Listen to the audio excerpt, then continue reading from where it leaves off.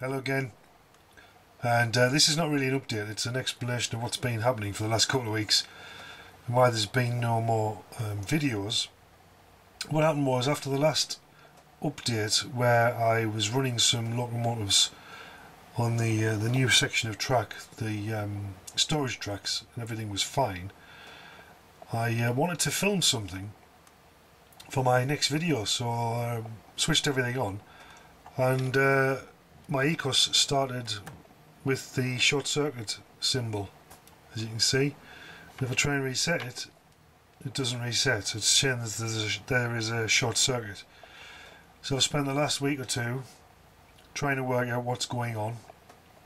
I've disconnected all my points. I've disconnected the um, storage tracks so it's totally isolated now. But I just can't seem to uh, find this short circuit as I said one reset. If I disconnect the power sorry if I disconnect the track from the ECOS everything's fine. And I've been round the uh, all the joints on the track I can't see any obvious signs of a short circuit.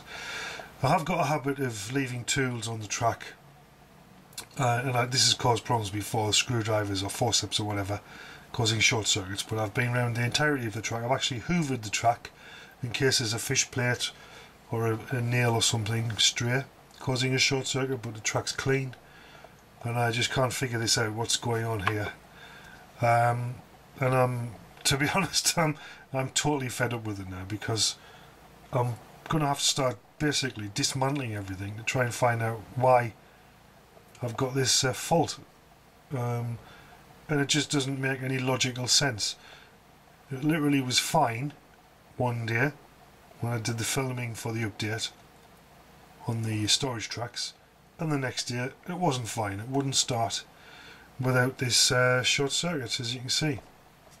So um, I just can't be bothered with this anymore to be honest at the moment. I uh, so I don't know what's what's going to happen at the moment. It could be a long time before I'm back because I really haven't got the uh, the uh, energy at the moment to, to start dismantling all the wiring. There's just too much of it. Um, I'm thinking, is it a faulty set of points? Does could this cause this problem? It just seems illogical that one day for it to be okay, the next then the next day it's not okay. I don't understand what could be wrong, but uh, it seems the only way to find it is to unpick everything slowly, um, which is a daunting task and uh, I don't think I'm up to it at the moment. So it could be a while before another update. Just so you know where it is. On a the other side of the coin a bit of a double-edged sword is um, the fact that I've just gone through 3,000 subs which is amazing because I only ever started this video blog as a way of storing a, a diary of my um, attempts to, to build a, a model railway in the loft and uh, I can't believe I've gone through 3,000 so really really grateful for everyone who's subscribed. And I love getting your comments as well. And I've made lots of mistakes and uh, I had lots of great comments over everyone so I do really appreciate it.